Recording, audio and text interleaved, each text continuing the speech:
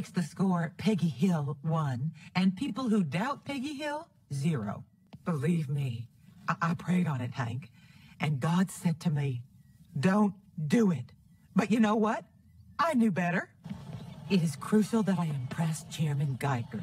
Although I'm sure all the kids will love this trip, I need one unified voice to vocalize what everyone is thinking. Here are your lines. It's over, Peggy. Let me put this in words even a genius can understand. You are not a genius. Uh, you don't know me, but my name is... Mr. Big. My name is Mr. Big. Yes, yes, yes! Piggy Hill, you are one cool customer.